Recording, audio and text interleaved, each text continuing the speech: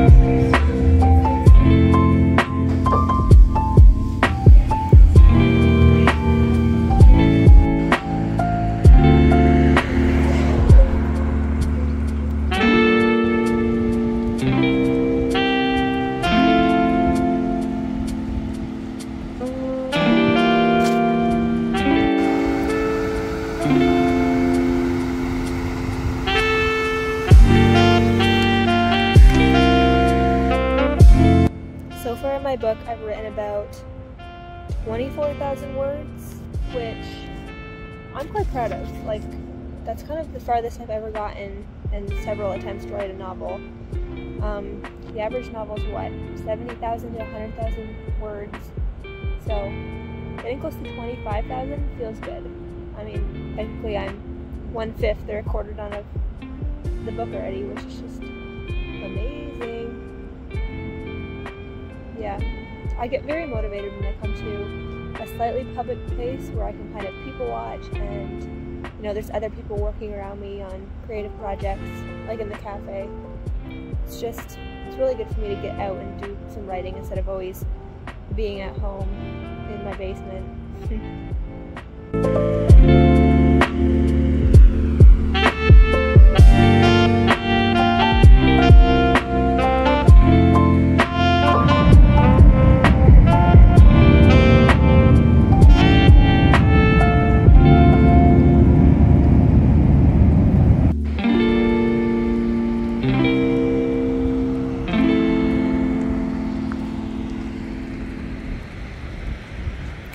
funny because this little spot right here where I was just sitting doing some reading has been a day spot for me several times with some not so good guys and with the best guy I've ever met.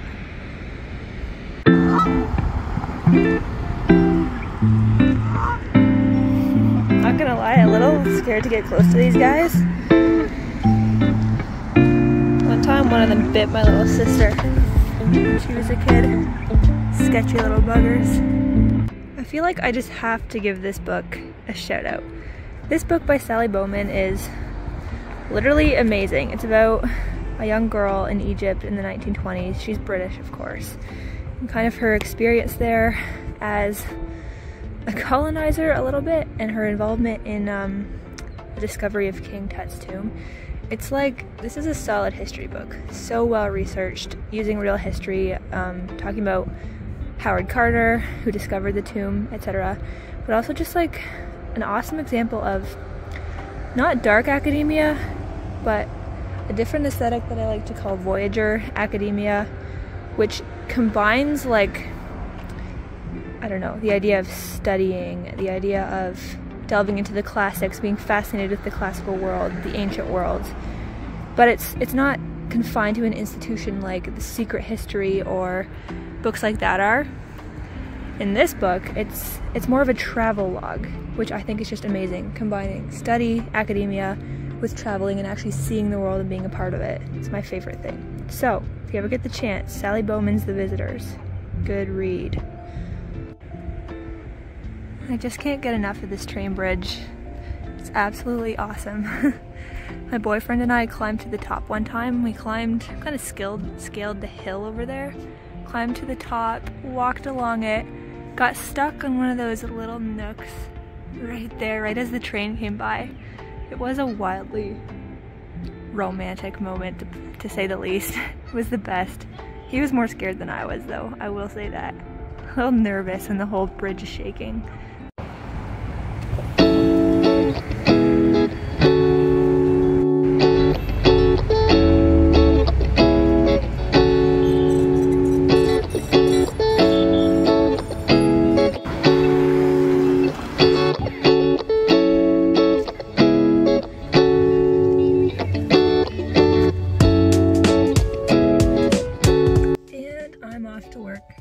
For watching this vlog, guys. I hope it wasn't terrible. My first vlog ever. Um, yeah, see you next time, hopefully. Wow, what am I doing?